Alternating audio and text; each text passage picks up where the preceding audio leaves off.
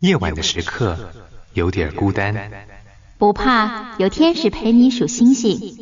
这样的夜晚真的有天使陪伴吗？当然，因为天使正在为你值夜班呢。太好了，这样的夜晚我们称它天使夜未眠。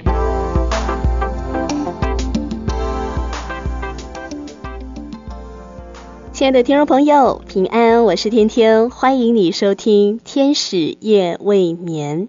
为了要应应越来越多的不婚的人口，消费市场呢开始做出了调整哦。一个社会在十年内的适婚男女选择不结婚的人数啊增加这么多，背后呢一定有一些的因素啊。那一 Z 谈生活呢，天天要和你分享这个由心理专家跟婚姻专家他们所提供的检测。待会儿天天呢会一一念出来给你听。如果你发现你自己或者是你的另外一半有出现这样子的行为状况的时候，啊，你就打一个勾，或是做一下记号。等一下念完题目之后，你可以来算一下你到底打了几个勾，做了几个记号哦。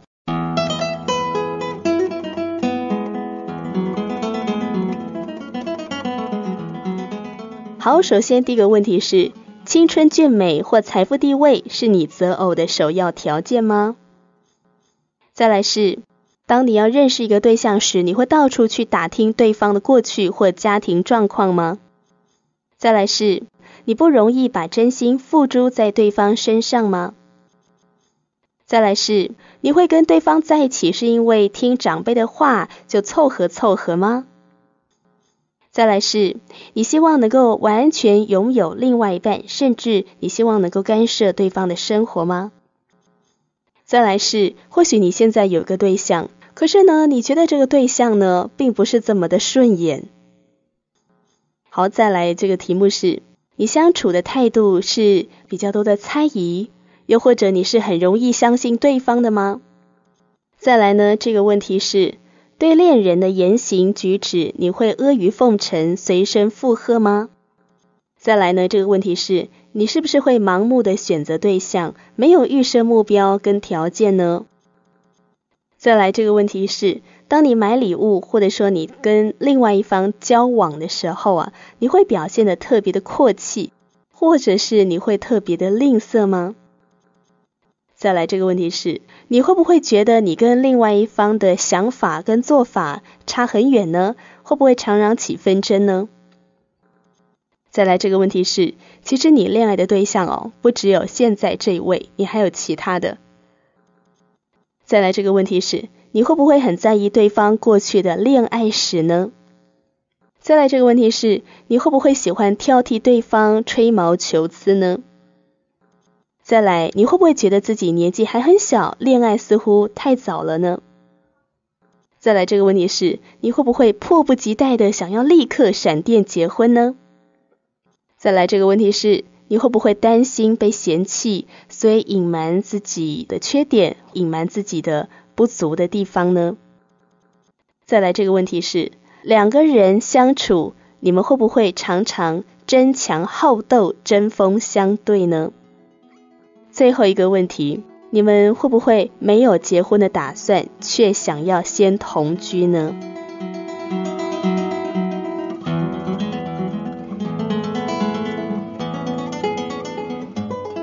问题的资料来源呢是婚姻危机处理协会，透过心理学家跟婚姻专家呢一起共同呢讨论出来，可以检测自己是不是会成为恐婚族哦。你可以看一下你刚才勾选的，跟你做记号的有没有很多。如果你发现越多的话呢，诶，可能你成为恐婚族的几率就会越高。从刚才的问题当中哦，是有一些的归类了。比方说，恐婚族的遇到的状况，就是认为婚姻好像是爱情的坟墓。有很多人呢是过度美化婚姻了，把婚姻当作是一种乌托邦的世界，也不知道怎么样面对婚姻当中的冲突跟争执。就很害怕生活中的柴米油盐酱醋茶啦会磨光爱情，只剩下习惯跟家事，所以呢，干脆呢逃避婚姻。那还有一个因素会造成恐婚的状况，就是在原生家庭里面有不好的经历，比方说单亲或是家暴、有虐童的这种问题家庭长大的孩子，虽然很渴望拥有一个安定的家，也很害怕自己进入婚以后呢会重蹈父母当年的覆辙，渴望爱情却不敢结婚。那还有一种恐婚的状况，就是拒绝长大。圣经告诉我们说，人要离开父母，与妻子联合，二人成为一体。那离开父母不是抛弃父母，而是代表说你要在身心灵跟你的经济上面呢成熟独立。唯有如此，你才能够去建立家庭。一个拒绝长大的人呢，通常也会很不想要进入婚姻啊，也会变成恐婚族。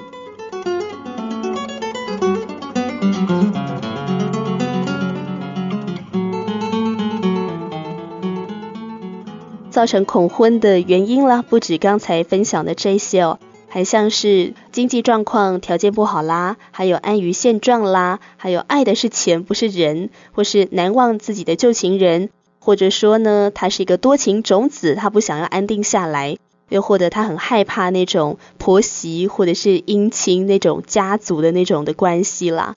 其实是有很多的因素会造成恐婚的。亲爱的朋友，我不知道。你是不是一个恐婚族呢？事实上，当我们很害怕婚姻的时候，我们其实可以更多的去认识什么是婚姻，婚姻的生活包括了哪些层面。尤其当我们看见，哎，有一些那种恩爱夫妻哦，我们可以呢去了解他们婚姻成功的秘诀，破除我们对婚姻的恐惧，以及对婚姻错误的想象跟期待。我们才不会因为很害怕或是不了解而不敢进入婚姻。在圣经里面说，爱里没有惧怕。或许恐婚族最需要的呢，就是不要怕，要有平安。如果一个人因为害怕婚姻中的挫折冲突而选择不结婚，那其实就是连同婚姻当中那些美好的部分都一起抛弃了。那这就很可惜了。认识上帝，了解真爱。依靠神的话来建立婚姻，去寻找那合乎上帝心意的另外一半。和你分享这首歌曲，不要为明天忧虑。我们在下一次空中再会了，拜拜。